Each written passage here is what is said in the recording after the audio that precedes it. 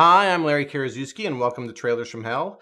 When genres reach their expiration date, when the same tropes have been played so many times that the only way to get the audience's attention is to do something a little different, that's when things can get interesting.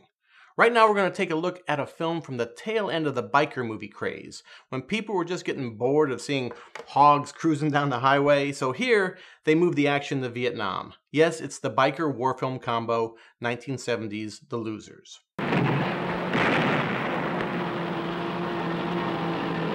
Here come the losers. Killers by instinct, mercenaries by profession. In general, the motorcycle genre has not aged well. It might be the ultimate you had to be there. The films are certainly groovy at the time. This one holds up because it has a good plot, apparently inspired by a news report that the Hells Angels had sent a message to President Lyndon Johnson, volunteering to use their bikes to become guerrilla fighters in Vietnam. LBJ turned them down.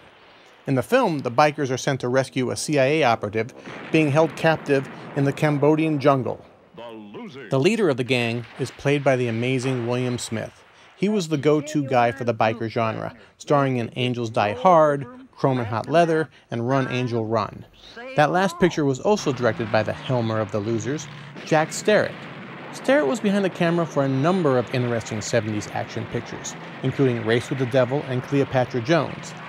He was also a very good actor.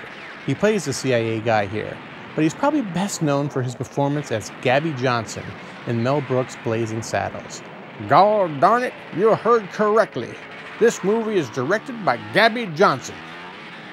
I saw The Losers at a drive in back in the day. I told all my friends how cool it was, but it never really gained too big of a cult until Quentin Tarantino used a clip in Pulp Fiction.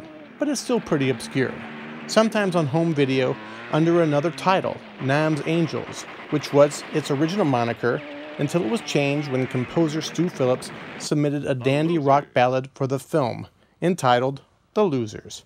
That song and the movie are well worth finding and checking out.